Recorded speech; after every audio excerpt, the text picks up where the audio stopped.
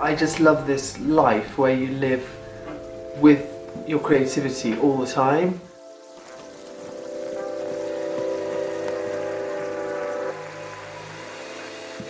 I believe in living with cancer. I don't believe in fighting it. I don't like the kind of language of fight it and beat it because what is it anyway? And I don't want to have a fight with anything. I want to live.